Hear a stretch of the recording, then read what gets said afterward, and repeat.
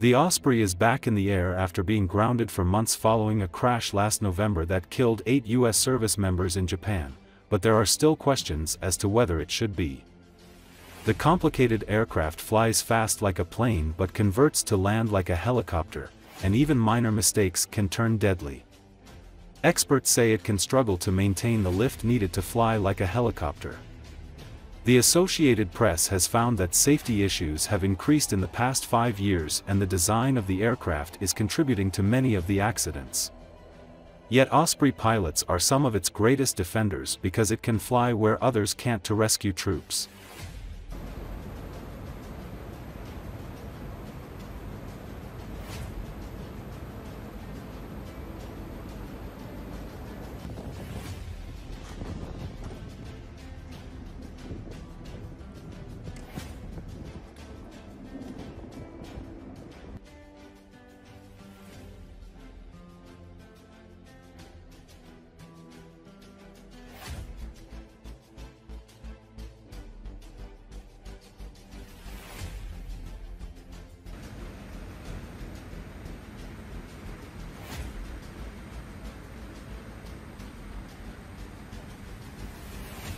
Why are Ospreys crashing now? It's it's because these aircraft are getting old.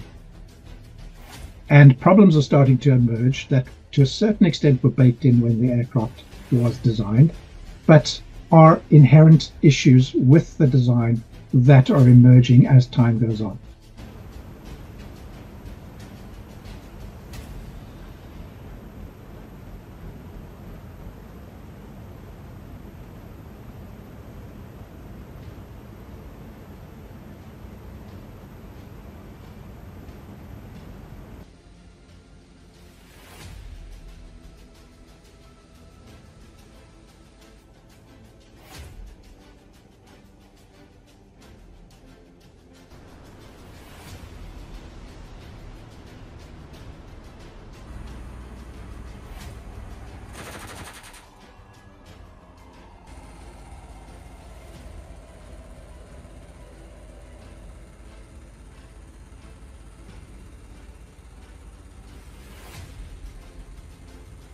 Whenever you lose somebody, um, you'll try to get everyone together and, and create something so you always remember them. It's in a place that we see every day.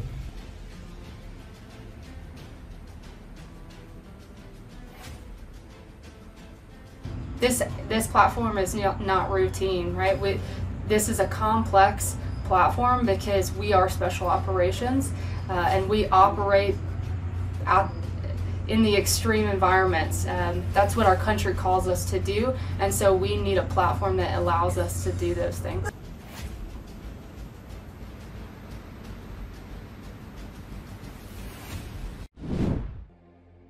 U.S. Defense Secretary Lloyd Austin says the U.S. has authorized aid and assistance for people affected by Typhoon Man-yi and five previous storms that struck the Philippines. I've authorized U.S. forces to provide support to respond to the super typhoon. We've also secured another $1 million in urgent humanitarian aid. That will help surge aid to the Philippine people, Austin said on Monday in Manila. Typhoon Man-yi left at least three villagers missing, destroyed houses, knocked out power in entire towns and displaced large numbers of villagers before blowing away from the northern Philippines, worsening the crisis wreaked by five previous storms, officials said Monday. Man-yi was one of the strongest of the six major storms to hit the northern Philippines in less than a month and had sustained winds of up to 195 km per hour when it slammed into the eastern island province of Catanduanes on Saturday night. Austin commented while taking part in a groundbreaking for the Combined Coordination Center for the U.S. and Philippine militaries. This center will enable real-time information sharing for our common operating picture. It will help boost interoperability for many, many years to come.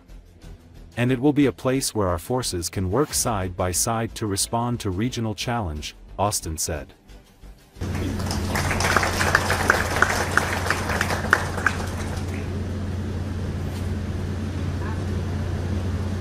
I mentioned earlier today, I recognize that uh, just yesterday we had yet another horrific storm come through. Uh, and our thoughts, prayers, and condolences are with the people uh, who have been disadvantaged because of not only this storm, but the five storms that preceded uh, this last storm. I've authorized U.S. forces to provide uh, direct support to respond to super typhoon. And we also secured another million dollars in urgent humanitarian aid. That will help surge aid to uh, the Philippine people. This center will enable real-time information sharing for a, a common operating picture. It will help boost interoperability for many, many years to come. And it will be a place where our forces can work side by side to respond to regional challenges. President Marcos has repeated it several times that the United States presence in the Indo-Pacific region is essential for maintaining peace and stability in this region.